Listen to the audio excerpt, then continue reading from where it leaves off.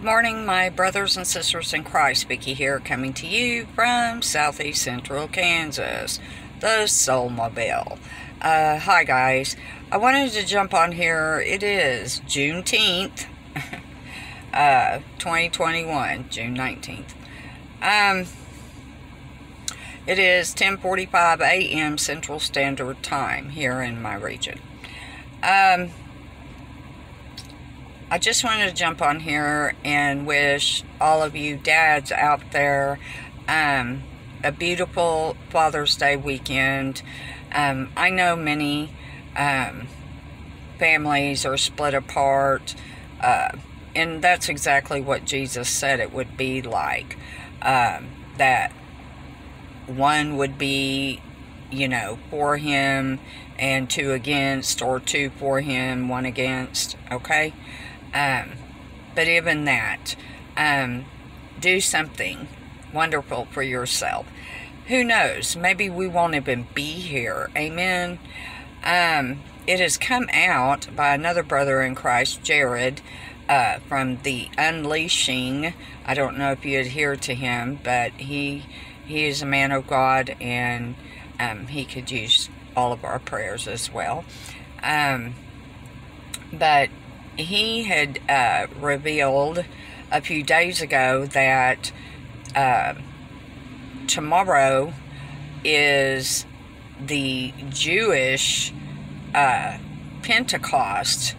Um, now, that's not the same as our Pentecost, okay?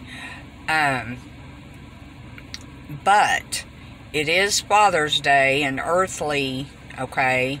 But it's on the Julian calendar, okay, for Orthodox um, Pentecost. Um, how awesome would it be that we would be with our Father, our Abba, in heaven for Father's Day? That would be fine by me. Amen. Um, our brother Lewis, who lives in the UK, hi, bro. Um, he had shared a link with me um, a few days ago. I believe it was on the 15th of June or the 16th. Uh, but the video came out of Revelation12.com. Uh, um, I'm sure some of you have seen it, but I'm going to place it in the link below for the mere reason that this was at Heathrow Airport uh, while the G7 was going on. Uh, this is modern day internment or uh, FEMA camps, uh, concentration camps, because when we're taken out of here, the people that are stuck in these places because they flew to another country and are being held like prisoners, okay? Um, because of this uh, nonsense that's going on. Um, you know that this isn't just happening at one airport. This is happening at multiples of airports across the whole earth. Um, anyone who is flying into or out of a country. And remember, I had told you to keep an eye on you know, those that would be coming into Israel or out of Israel, you know, because the only way they're going to be able to do it is if they took the Jabberwocky V, okay? Period. Uh, I don't know if you knew this, but uh, the former U.S. ambassador to the UN for Israel, Nikki Haley, okay, she was in Israel last week okay, in solidarity, okay?